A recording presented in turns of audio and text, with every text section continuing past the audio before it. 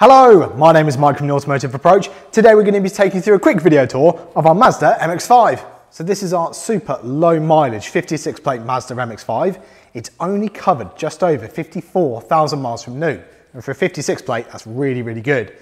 It's had three former keepers. It's got really, really good service history. And whilst in our care, we've given it a service, fresh MOT with no advisories and a full 102 point independent mechanical inspection. It's the hard top convertible, so it's not a soft top, it's a hard top convertible. It's in stormy blue and it's in really, really good condition for the age.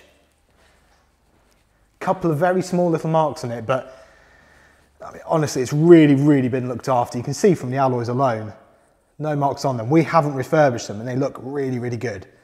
Tyres are all in really good condition too.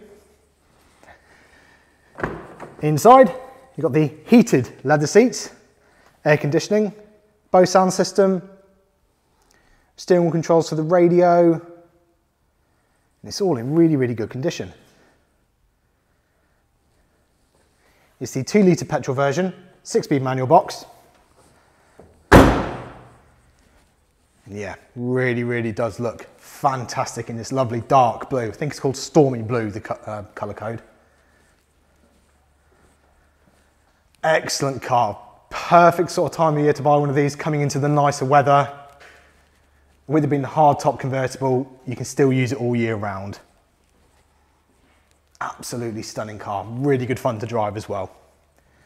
As always, if you like this video, please like and subscribe. It really helps us out. And if you have any more questions or queries, please get in touch.